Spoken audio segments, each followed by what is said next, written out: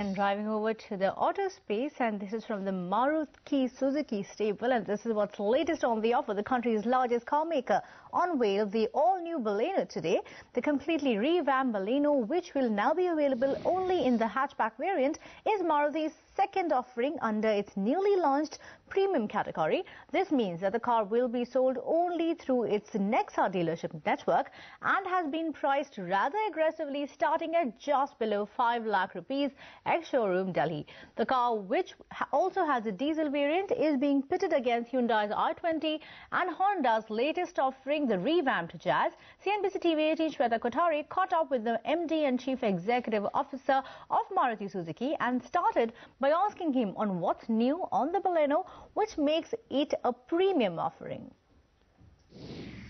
Fuel efficiency very nice, and also installing it uh, whole you know safety package. Right. That is totally different from the other you know uh, computer. Right. Uh, we I. I, I'm proud that, that to you know deliver this kind of product to that our customer. Right. So you're also planning to export the Baleno. Could you perhaps give us some number as to how many cars you'll be exporting? Uh, depend on the market you go, because of the, we are exporting at the hundred at the more than hundred area. Right. Depend on the condition that uh, will be at the uh, different number.